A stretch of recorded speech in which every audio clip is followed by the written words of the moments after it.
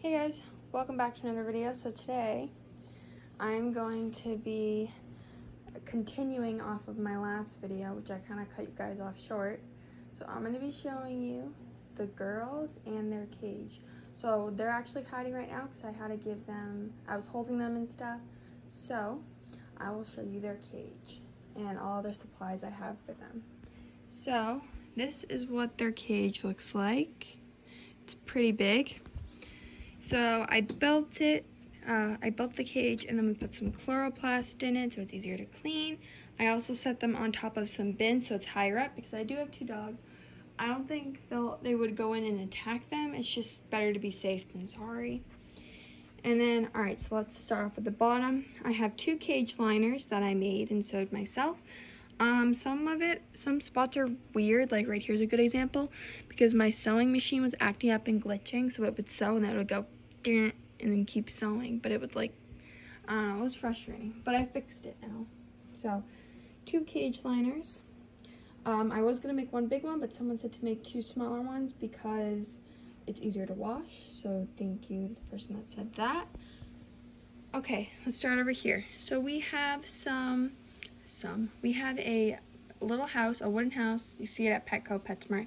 Really popular. I definitely recommend it because Mango, who is the bigger one, loves it.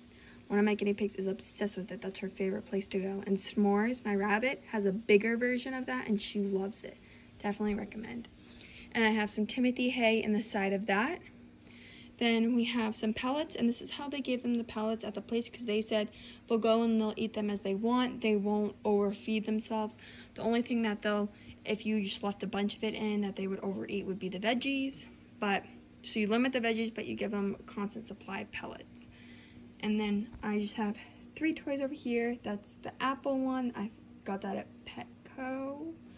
And then the flip and roll, that's available on my website and a Timothy twist. And it, they come in a bag of six, and that's also on my website. This is a stuffed animal from their old, um, from their old cage. The lady there said they love stuffed animals. They love snuggling with them. So she gave us that stuffed animal, which was really nice because she said they loved it. Okay, then we have two water bottles and I have these under them. Again, they're wonky because my sewing machine was being dumb.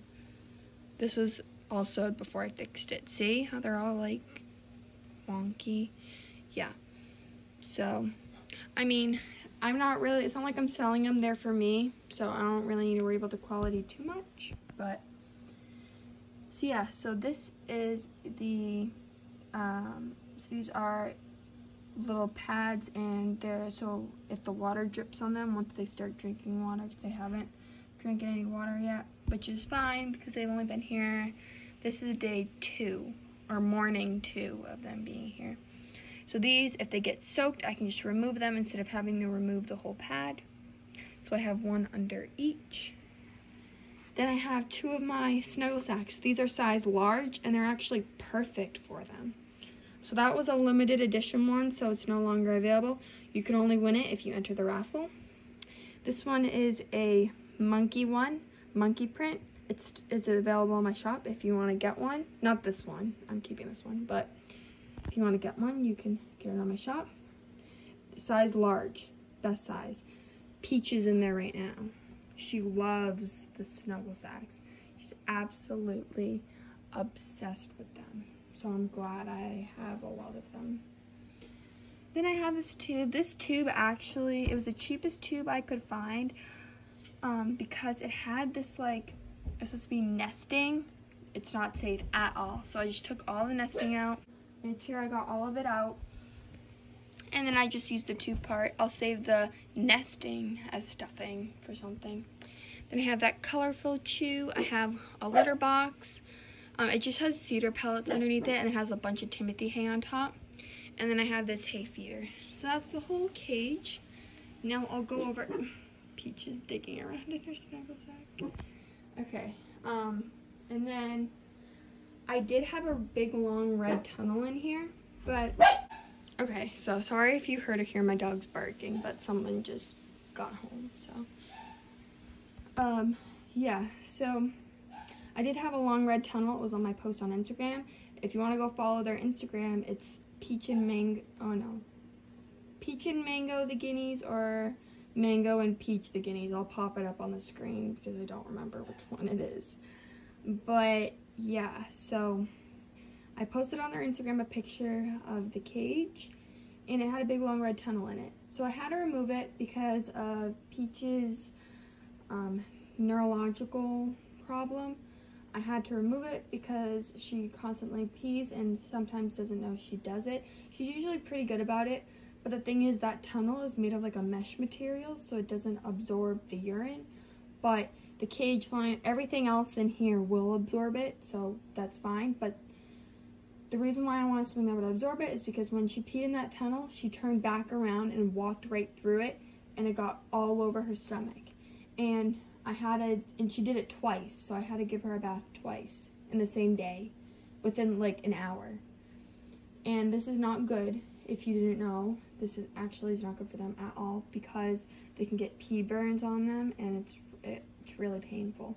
So I had to give her a bath, but I don't want to be constantly giving her baths because they don't need baths often except for when obviously they pee on themselves, which I am expecting to give her baths more than you would normally give a guinea pig a bath anyways. It's just I don't want to be giving her five a day because then it would associate me being bad and I'm trying to bond, uh, not bond them, tame them right now.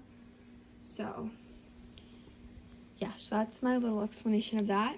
Okay, now if we look under their cage, I have some bigger stuff stored under there, and then these are their two bins. So, let's go and take a look at what's in them. Okay, so if we take a look at what's in this first bin, this bin has most of their stuff. The other bin is kind of empty right now because uh, it's going to hold all of their fleece items and I haven't made all of them yet. The ones that I have made are pretty much in their cage or in their run and I'll show you their run after. So let's just take a look at everything. So first off, we have paper towels to clean their cage. I'm going to be cleaning their cage like a full deep clean once a week and I'm going to be spot cleaning twice a week. I'm not twice a week, twice a day. So the difference between the spot clean and a full cage clean, I'll just tell you what my idea of it is. So a full cage clean would be taking out the cage liners and washing them and putting new ones in, taking everything. Uh, so basically the only difference is going to be taking out the cage liners and the snuggle sacks if I hadn't changed them recently.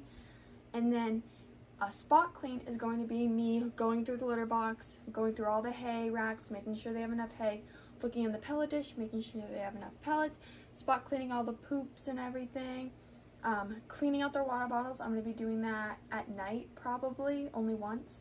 I'm going to be doing that at night because I want to make sure the water is circulating so then it doesn't cause slime in the water bottle. And then I'm going to be adjusting things if they move things around. Also, I'll be checking the snuggle sacks to see if they um, peed or poop, well, if they pooped in it, I'll just shake it out into a trash can. If they peed in it, then I'll switch it out because I don't want them laying in their own pee.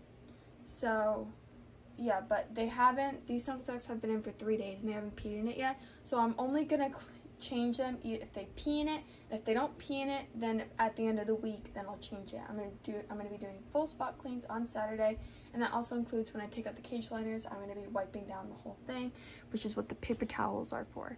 So I'm just telling you the difference. Oh, also, I have little, I showed, I don't know if I showed you, I have little pads under the water bottles, and those will also be washed as well, because I'm guessing water will be on them if, like, if they're not already changed.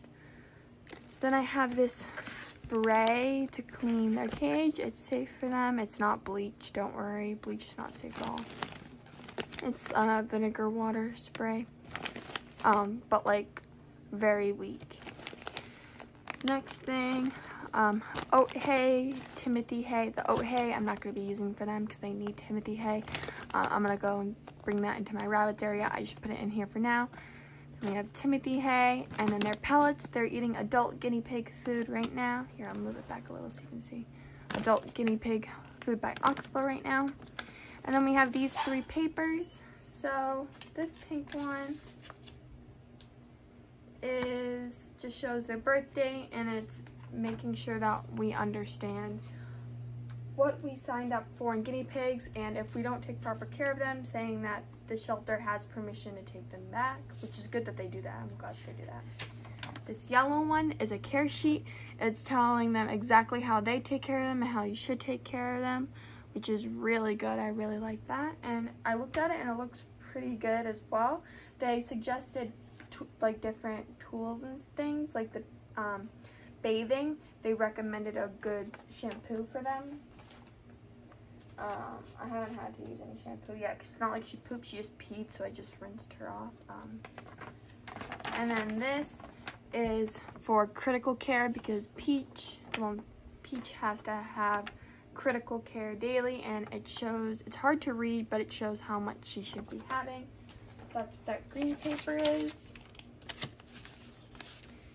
All right, now over here, these are baby wipes. They're mostly water, they're called water wipes. So they're just baby wipes, but with water in them and no chemicals. So I got those ones. And then some extras of the Timothy twists.